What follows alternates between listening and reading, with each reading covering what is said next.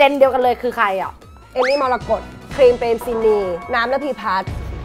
น้ำระพีพัฒน์โอ้โห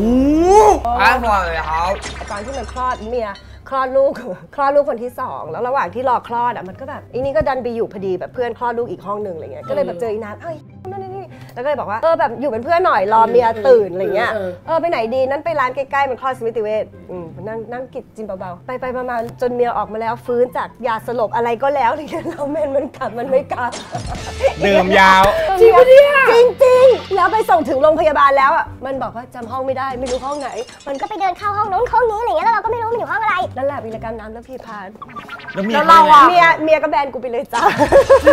วันนี้สมมติว่าเป็นวันเกิดแล้วจะชวนน้ำอะน้ำแบบเออแบบเออมึงแบบเมียกูแบบเออไม่เหมือนแบบไม่ให้มา เออก็นิดนึงอะเพราะว่าเคยแบบ คือเจอกันที่ไรคือบันไลอะ